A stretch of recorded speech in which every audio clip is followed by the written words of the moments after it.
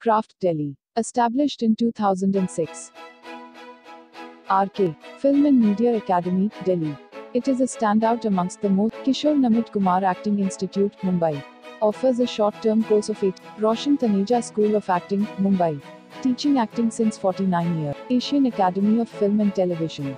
AAFT is one of the best institute, Whistling Woods International, Mumbai. It is a perfect choice for those who want to pursue. Anupam Kher's Actor Prepares, Mumbai.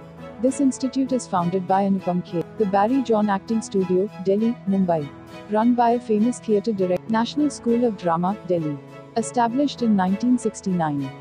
Film and Television Institute India, Pune. Established in the 1960s.